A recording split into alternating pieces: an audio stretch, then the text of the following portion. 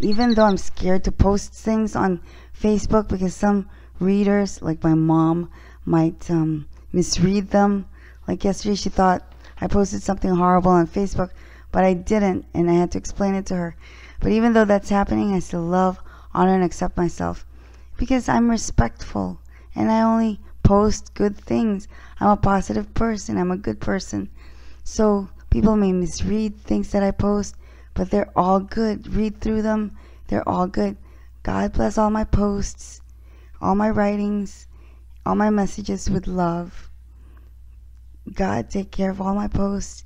Shine love, peace, and happiness in all, everything I write, in my thoughts, in my words, in my deeds, in my actions, and in my messages and posts on Facebook, my videos on YouTube, whatever it is I create. Shine with love. Let's shine with peace.